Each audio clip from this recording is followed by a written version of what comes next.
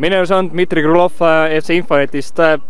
oli mäng kaks-üks, mõlemal meeskonnal oli võimalusi, aga mis sai täna määravaks, et Infonet selle võidu ikkagi ära võttis? no ütlen niimoodi, et väga, väga raske mäng emotsionaal, emotsioon, emotsiooni poolt ütleme, et äh, raske mäng oli ennem kaks päeva tagasi Levadia vastu ja ütleme niimoodi, et meeskond oli natukene, läks tühjaks emotsionaalselt ja pidime leidma mingit ressurssi, et äh, need, see mängu ära võtta. Ja meeskond oli väga tubli täna, kõik, kõik bossid olid väga, väga korralikult mängisid ja kahjuks punane kaart rikkus natukene tujud, aga no mis teha, see on jalgpall.